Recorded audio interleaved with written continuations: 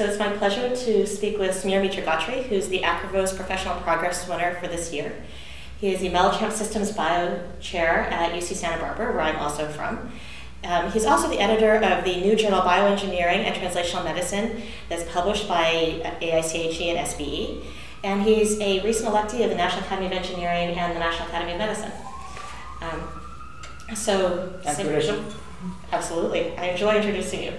Um, the title of your talk is Understanding and Overcoming the Body's Biological Barriers for Drug Delivery. Um, and I understand you're going to speak about the innate obstacles of the human body which limit drug delivery. Can you tell us a little bit about what those barriers are? Sure. So the human body is full of biological barriers. In fact, without those barriers, we would not exist. If you think about the body, it's full of metabolic reactions, and the body wants to control when they happen and where they happen, and the way of controlling that is putting barriers in place.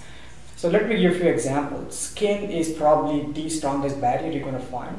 It protects us from the outside environment. It does not allow the entry of viruses and pathogens and toxins. And without that, we would not exist. We would actually lose water from the body very quickly. Another barrier is the intestine, very different kind. Uh, it is uh, full of enzymes which digest proteins so that whatever we eat does not go into the blood circulation on its own. And without that, we again would not be able to exist.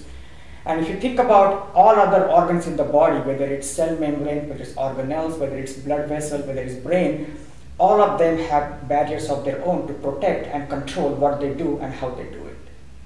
So um, drugs and medicines have been around, a long time. What are you trying to do differently than what they used to do?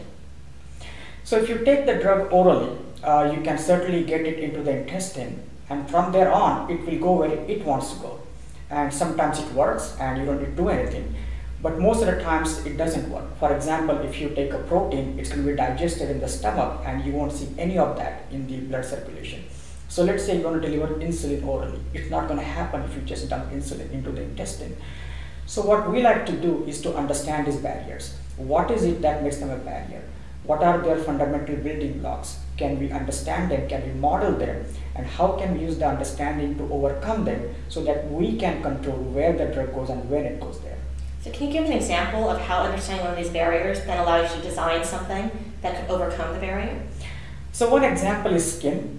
Um, skin has a phenomenal organization that stops the entry of foreign molecules. And if you look at the structure of the skin, it has outstanding lipid bilayers which make it extremely tough barrier. So we spent about five years trying to understand what is it about the skin that makes it a good barrier. And if you try to perturb it by putting some chemicals on it, how does it work? And using that understanding, we developed mathematical models that actually told us what are the molecular features that are required to make the skin open in a safe way. And with that, we came up with an idea that is based on ionic liquids and we especially have one ionic liquid that you can put on the skin. It partitions into the skin makes the skin permeable and allows the entry of proteins for example insulin for the treatment of diabetes.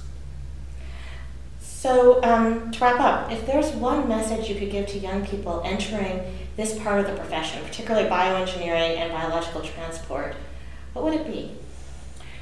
I guess uh, a couple of messages. One is that uh, not to be afraid of challenges because it is extremely tough to deliver drugs in the body. Um, we do not fully understand laws of biology, so it's going to be a, a, tough task, but not be afraid about that and just go about trying to understand uh, how it works because in reality we cannot fix anything that we don't understand. So that focus on basic science is important.